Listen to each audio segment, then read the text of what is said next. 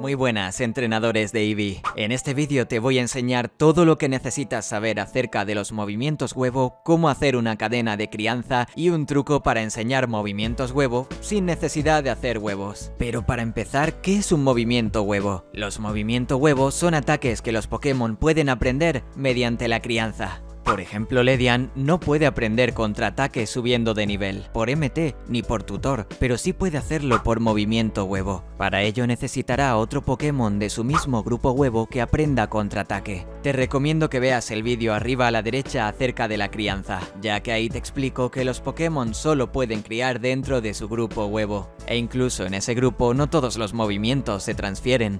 Para saber en todo momento el grupo huevo de un Pokémon y qué movimientos puede aprender, vamos a utilizar la aplicación que te he recomendado anteriormente para Android, llamada Datadex. Si no tienes acceso a ella, también puedes poner en internet movimiento huevo y el nombre del Pokémon. En este ejemplo vamos a enseñarle a Ledian contraataque. Para empezar ponemos en internet movimiento huevo Ledian. Allí vemos que efectivamente uno de sus movimientos huevo es contraataque. Vamos a enseñárselo a través de la cría con Parasect. El grupo huevo de Parasect es bicho planta. Comparte el grupo huevo bicho con Ledian, así que podrán tener crías. Pero hay un problema. Parasect no aprende contraataque por nivel. Habrá que hacer una cadena de crianza. Recuerda que Parasect, aparte del grupo huevo bicho, tiene el grupo huevo planta, así que podrá criar con más Pokémon que Ledian. Por ejemplo, Brilum tiene el grupo huevo planta y aprende contraataque. Nuestro plan va a ser transferir el contraataque al Parasect y finalmente a Ledian. Esto lo vamos a hacer a través de la guardería. Vamos a insertar a un Brilum macho con contraataque y muy importante, un Parasect hembra. Esto debe ser así porque la cría siempre es el mismo tipo de Pokémon que la madre. Si lo has hecho todo bien, tus Pokémon tendrán un huevo y el resultado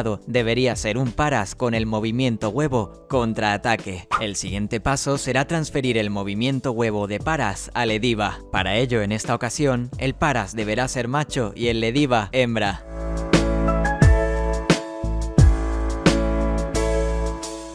De esta manera habremos hecho una cadena de crianza y el Lediva que nazca tendrá contraataque. Y por si te lo preguntas, esta no es la única manera de lograr un movimiento huevo. Los Pokémon que captures en el subsuelo pueden tener movimientos huevo de manera natural.